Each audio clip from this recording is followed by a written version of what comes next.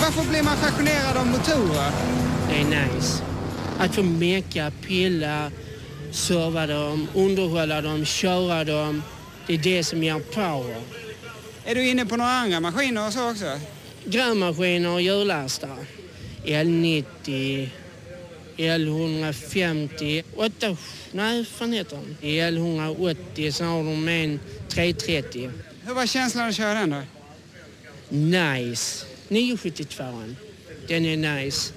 Men vad jag skulle vilja göra, köra 994. Jag kör med en joystick. Och det är nice. Gynekolog och så då fotviktiga. Ja, ursäkta.